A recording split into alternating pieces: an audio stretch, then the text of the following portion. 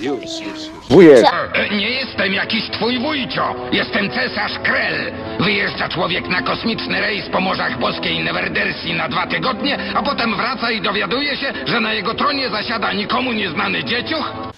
no jak pan już powiedział? No musimy to w Biblii sprawdzić. Poszukajcie. Poszukamy. Dlaczego spełniasz jego rozkazy, he? Nie wiem. Nie waż się wykonać rozkazu. Tutaj jest tylko jeden cesarz i jestem nim ja. Tak. Jazda z mojego tronu, knypku. No jak pan już powiedział? Zrób mi natychmiast kanapkę z szynką. Tak. To jest